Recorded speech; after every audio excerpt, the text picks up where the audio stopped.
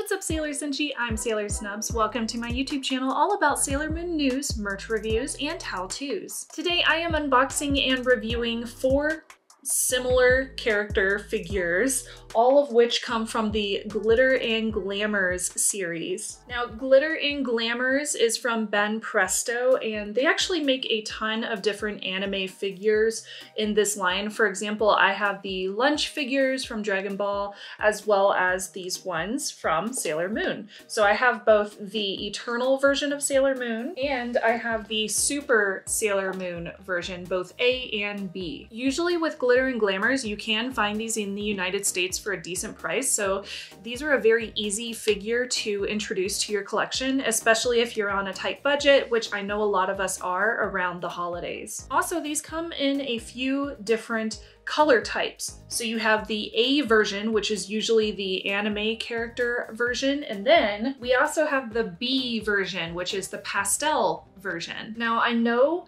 that many people, including myself, needed to unbox these as soon as they came in because some of our boxes included the wrong color type. So I believe it was my Eternal Sailor Moon A version which should have been the anime character color. It actually came with a pastel, which is the B version, which basically meant that I got two of the same color.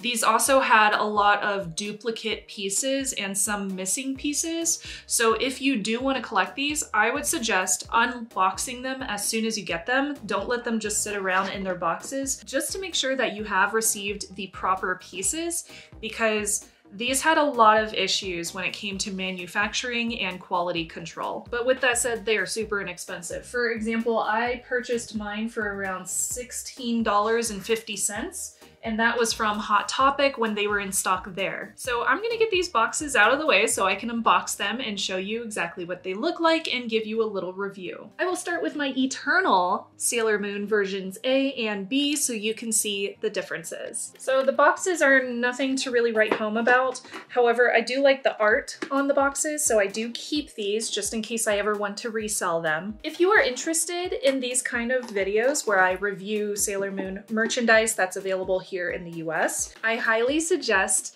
subscribing to this channel as well as commenting down below so you can let me know what kind of videos you want to see on the channel going forward. So as you can see, each of the pieces is separated by a little perforated plastic bag. I am happy to see that I didn't receive any missing or duplicate pieces, at least in this first box. So even though glitter and glamours are pretty inexpensive, you'll notice that these figures are actually made really well. Check out Eternal Sailor Moon's face and look at her beautiful detailing on her skirt. So even though you don't get like super high quality airbrushing. There's not a lot going on with the paint. It's pretty basic. They still do a really good job of creating this character.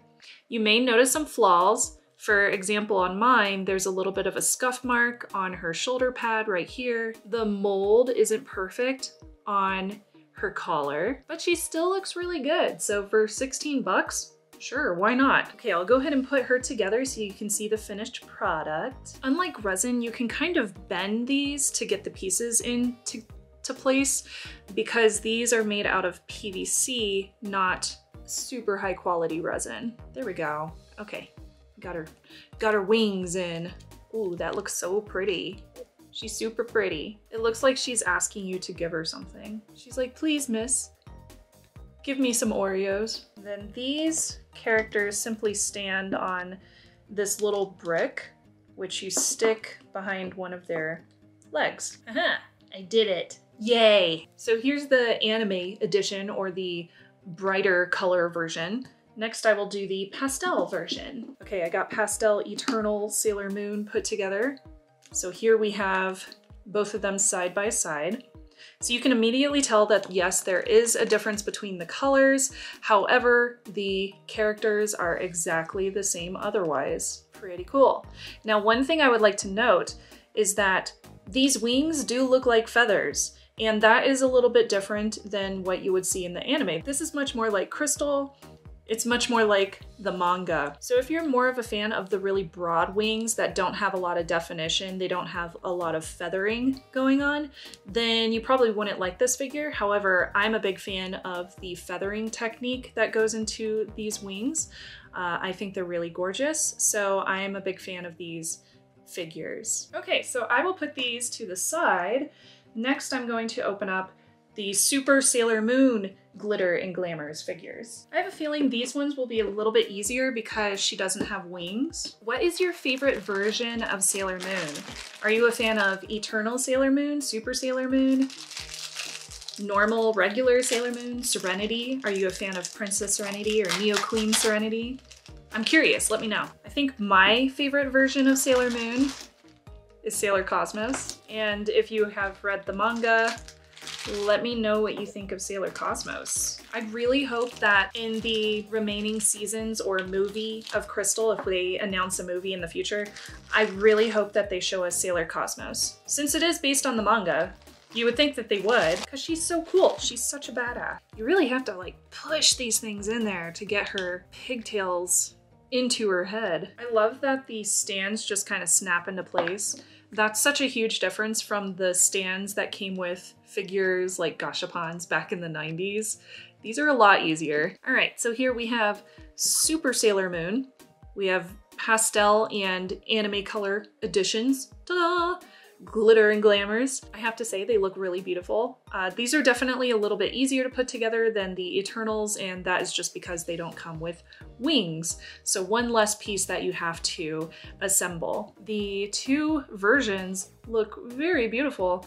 Um, my pastel version does have a little bit of black scuffing on the back of her head, but that's pretty much hidden, so I'm not too worried about that.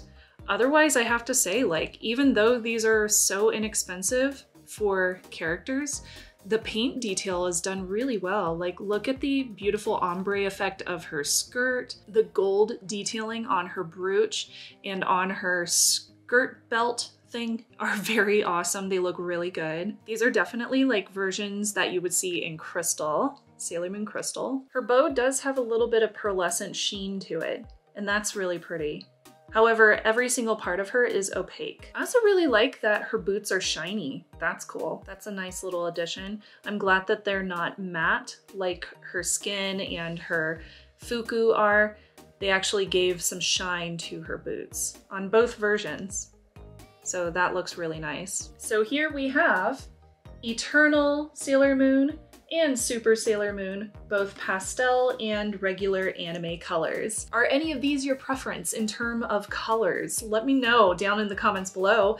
Otherwise, these are a great addition to my collection. They're also something really, really easy to find in case you are interested in starting your own collection. So if you are a new Sailor Moon collector, definitely keep an eye out for these because grabbing a couple of these is very inexpensive.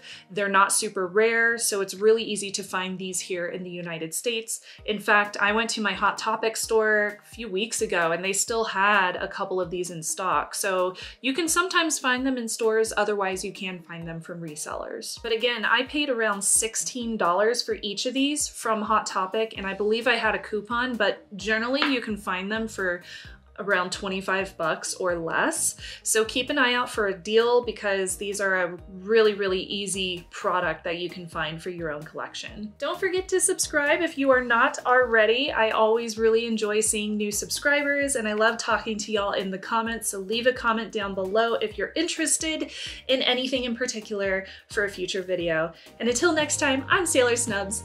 Ja ne.